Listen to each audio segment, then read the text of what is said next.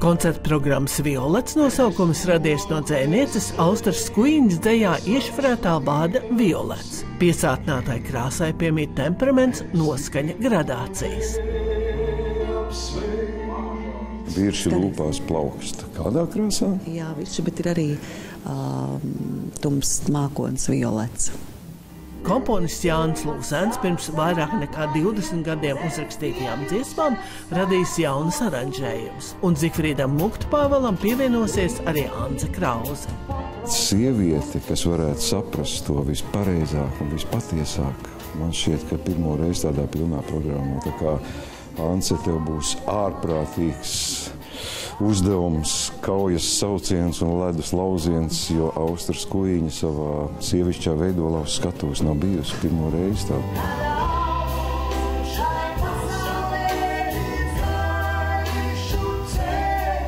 jaunāks cilvēks tur. Un, eh, un, un, un, nu tā vēl teiksim, mazāk pieredzējis, vairāk eh, kaislas emocijas un, un, un, un pārdzīvojumu.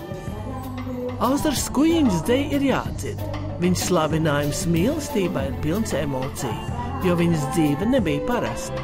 Zikfrīdam Mukta Pāvēlam pirms daudziem gadiem iznāca vienīgais solo albums, un tās bija Jāņa Lūsēna dziesmas ar Austras skujiņas dēļ. Tur ir ļoti līdzvērtīga gan mūzika, gan teksts, bet nu, um, jā, tur ir ārkārtīgi daudz dažādu šo emociju un, un, un dzīvot gribu. Austrijas kuģiņai šeit tad nav bijis uh, naktsmājas, un tad viņa tika uzņemta klusa, kautrīga un pieticīga cilvēka sabiedrībā, respektīvi Aleksandrs Čaks viņu ielaida pārgulēt kādā istabas stūrītī. Un es nespēju tikt vaļā no šīs sajūtas, ka, nu, kā vīrietis, kurš uh, austrijas kuģiņu redz no malas, un es iztēlojos, protams, visas tās detaļas un nianses. Programmas Violets muzikālo pavadījumu izpildīs džēza trio, un pats mūzikas autors Jānis Lūsēns būs pie klavierēm. To mūzikas valodu, ko es esmu izvēlējies, viņi ļoti viegli ir pārnest uz tādu uh, vieglu džēza trio pavadījumu. Un tas viss kaut kā likās, ka ļoti labi var sadarēt kopā.